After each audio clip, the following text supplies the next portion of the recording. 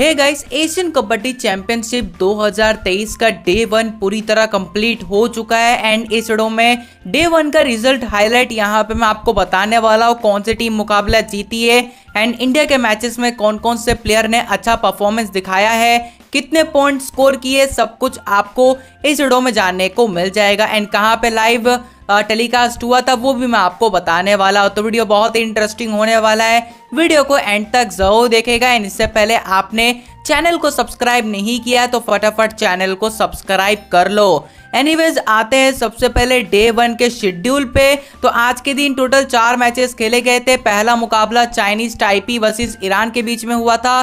दूसरा मुकाबला Korea versus India के बीच में था। तीसरा मुकाबला जापान वर्सेस हांगकांग के बीच में था।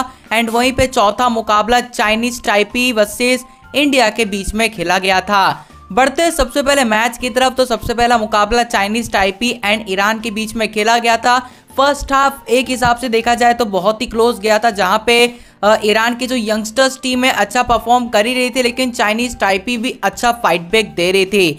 लेकिन जैसे ही सेकेंड हाफ़ शुरुआत हुआ, चाइनीज़ टाइपी का परफॉर्मेंस बहुत ही डाउन हुआ एंड ईरान की टीम ने एक हिसाब से पूरी तरह गेम में डोमिनेंस मचा दिया था।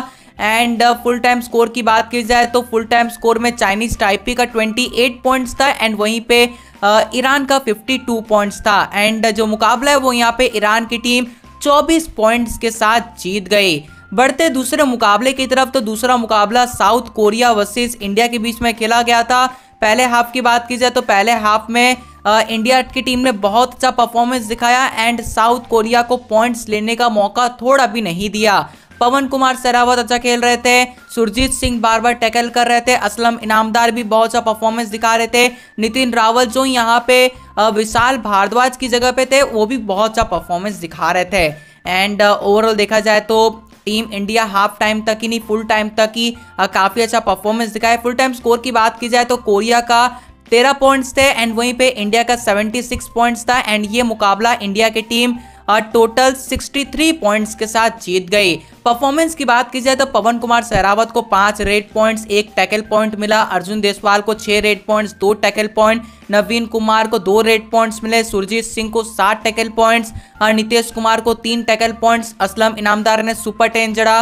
नितिन रावल को तीन टैकल पॉइंट्स मिला। सचिन तनवर को आठ रेड पॉइंट्स मोहित गोयत को यहाँ पे चार रेड पॉइंट्स दो tackle points and Vishal Bhardwaj को दो टैकल पॉइंट्स इस मुकाबले में मिला है। तो ओवरऑल टीम इंडिया के लिए काफ़ी अच्छा मुकाबला था। एंड बढ़ते तीसरे मुकाबले की तरफ़ तो तीसरा मुकाबला जापान वर्सेस हांगकांग के बीच में खेला गया था।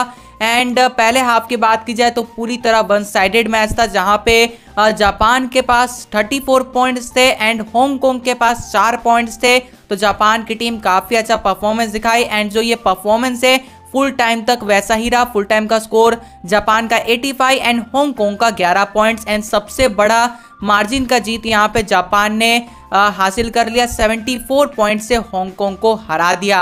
एंड आज के दिन का आखिरी मुकाबला चाइनीज़ टाइपी वर्सेस इंडिया के बीच में खेला गया था। एंड ये मुकाबले की बात की जाए तो ये मुकाबला का फ़र्स्ट हाफ़ थोड़ा टफ था बिकॉज़ यहाँ पे चाइनीज़ टाइपी ने काफ़ी अच्छा कंपटीशन दिया था, जहाँ पे चाइनीज़ टाइपी के 12 पॉइंट्स थे एंड इंडिया के 21 पॉइंट्स थे। इस मुकाबले में एक दिक्कत वाली बात ये थी कि नवीन कुमार इंजर्ड हो गए थे, तीन पॉइंट स्कोर करते ही इंजरी हुआ एंड वो बाहर चले गए, उनकी जगह सब्सिट्यूट पे असलम नामदार आ गए। एंड फुल टाइम की बात की जाए तो चाइनीज़ टाइपी का 19 पॉइंट्स इंडिया का 53 पॉइंट्स एंड ये मुकाबला इंडिया की टीम 34 पॉइंट्स के साथ जीत गए। परफॉर्मेंस की बात की जाए तो पवन सहरावत ने आठ रेड पॉइंट स्कोर किए, अर्जुन देसवाल ने तीन रेड पॉइंट्स नवीन कुमार तीन रेड पॉइंट्स करके बाहर हो गए।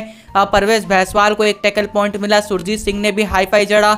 नितिन को यहाँ पे तीन टैकल पॉइंट्स मिले, नीतीश कुमार को दो टैकल पॉइंट्स असलम इनामदार को चार रेड पॉइंट सचिन तनवर को पाँच रेड पॉइंट्स एंड मोहित को दो टैकल पॉइंट्स मिला। तो ओवरऑल देखा जाए तो अच्छा परफॉर्मेंस टीम इंडिया ने सेकेंड मुकाबले में भी दिखाया था। एंड ये है डे वन का पूरा रिज़ल्ट हाईलाइट एंड बढ़ते डे टू की तरफ़ तो डे टू भी सिमिलर वैसे ही रहने वाला है। सबसे पहला मुकाबला हांगकांग ईरान के बीच में खेला जाएगा।